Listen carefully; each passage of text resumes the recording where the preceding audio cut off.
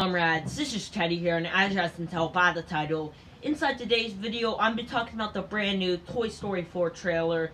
Now, this trailer just dropped today, and I thought I'd talk about it, so I guess let's begin with that. Uh, so the trailer doesn't really show much inside of it of the story. Uh, we get to see the classic characters from the movie, and they're like spinning around with the classic uh, background from Toy Story, like the blue wallpaper with the white clouds. Uh, and there's like a new character introduced. He's like some weird spoon looking thing. Now, I'm not sure who exactly this character is or what he's going to be doing in the movie.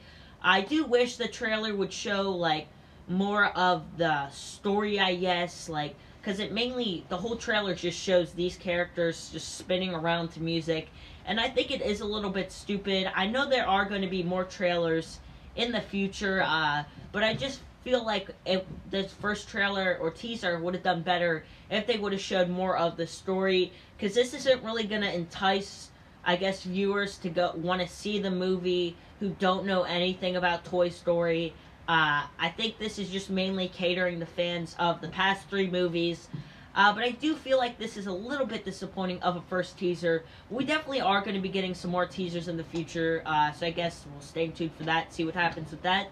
Uh, but yeah, that's the video. Hopefully you guys enjoyed it. You guys can smash that subscribe button to become a comrade today. Make sure you guys drop a like on that video and turn on the post notification bell so you can get a shout out every single time not a shout out, sorry, a notification every time I upload a video. And I'll be back again later today with another video, so stay tuned for that. This is Cheddie sign off. Peace out.